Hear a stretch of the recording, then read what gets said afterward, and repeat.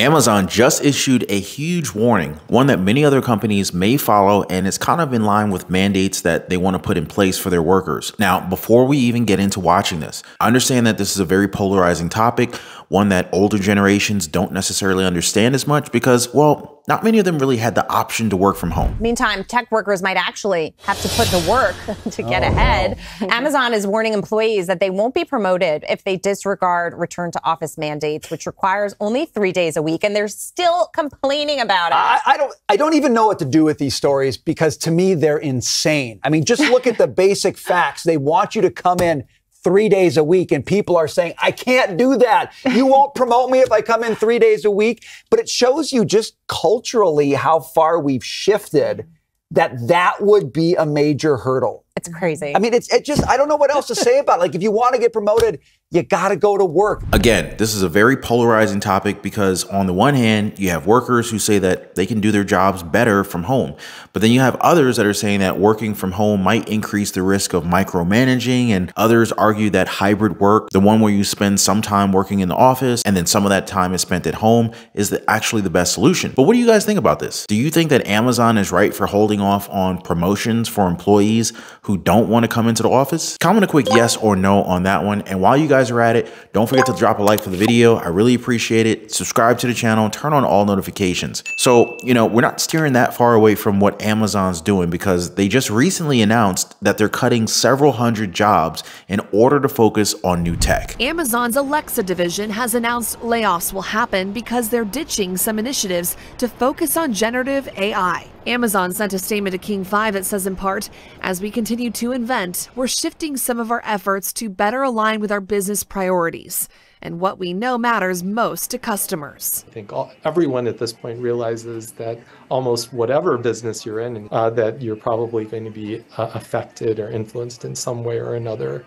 uh, by the emergence of AI. What others see as ironic with this case is that these employees, well, they were the ones who kind of pioneered artificial intelligence at its infancy. I mean, it's like training your prodigy to become better than you and then suddenly axing you out of the picture. You know what I mean? And this is creating a new wave of concerns for workers, especially in our own country, as we could be looking at the future of jobs just being completely wiped out and lost due to this kind of technology. Now, I have to ask you guys, are you currently employed? And if so, are any of worried that your job might be taken away by artificial intelligence or AI someday? Is it now time to find some new skills for you to use for the new workforce that might emerge out of this? Or should we just not be worried because there's just nothing quite like the human touch? I mean, we've seen it with the checkout counters, right? I know for a fact that a lot of folks here in our amazing community would rather talk and deal with a person at the checkout rather than have to use these self checkout counters that we really don't like to use all that much because sometimes they don't really work all that well, or at least as well as we would like them to.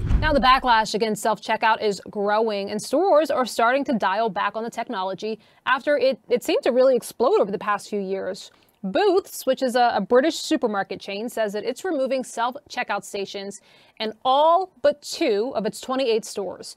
In the U.S., Walmart, Costco, Wegmans, and other chains have also revised their self checkout strategies.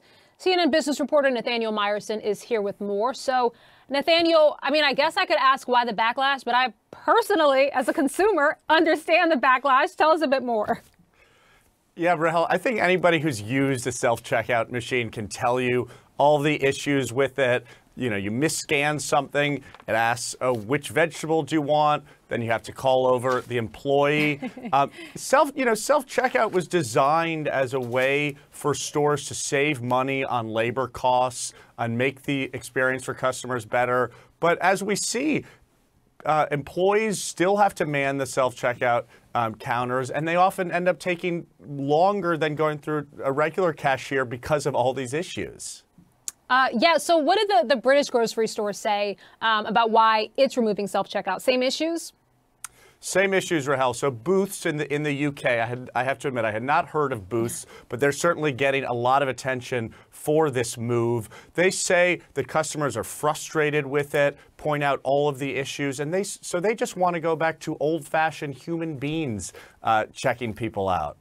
Uh, yeah, I think a lot of consumers would like to see old fashioned human beings as well. In fact, the COO of Target even said that the company is now refocusing their checkout areas and has seen a 6% increase in customers who would rather use the full service cashier lanes. You see, that's the huge difference between man and machines. If a human breaks down, and we're talking about work, this is probably because of a mental challenge. They just need to recharge and refocus, get their mind ready for the grind again, right? But if a machine breaks down, well, then there's a lot of repairs that need need to be made. Don't get me wrong though, there's definitely ups and downs with technology, but like I said, guys, there's just something about human interaction that machines will never be able to replicate. But it's not saying that humans are perfect either, okay? Just take the story, for example, where a US Postal Service employee, along with two others, had been recently charged and connected to a scheme that involved stealing checks worth more than $24 million. Now, you might be asking, well, how the heck did they come out with that much money? Well, it seems that they were doing it for more than two years before anybody even noticed. They're now probably going to be facing anywhere between 30 to 45 years in prison because of all all of this. Now, since we talked about money, did you hear about the Pentagon failing an audit? Well, as it turns out, they've been failing this audit for quite some time now. One of the main problems with the Department of Defense's accounting stems from the older methods still used today to track and organize funds you know, there is a myth out there that just because the department can't pass the audit, it doesn't know where it's spending its money, and it does. But what it doesn't do well is track it at an enterprise level. One example of items found in the recent audit was that the Navy found a warehouse with $126 million in aircraft parts that was not accounted for, according to the Government Accountability Office. It's items like this one that make some critics ask if the Pentagon's overall budget could be more focused and efficient what you have right now is a Pentagon that is everything for everyone. The DoD is trying to heal cancer and heal planet Earth at the same time. And it's always tacking on more missions. It's the matter of efficiency is what are you making it efficient for.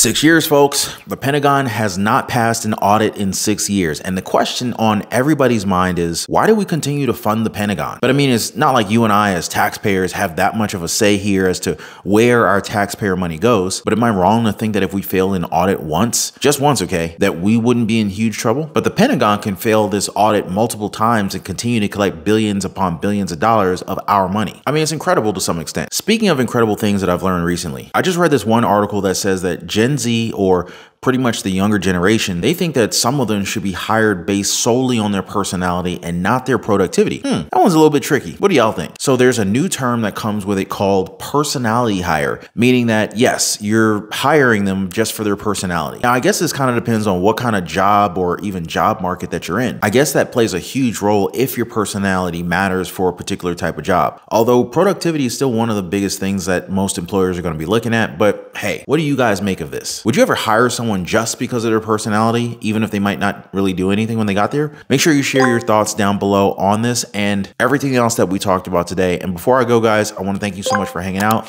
Thanks for liking the video. Thank you for subscribing, and I'll see you on the next one.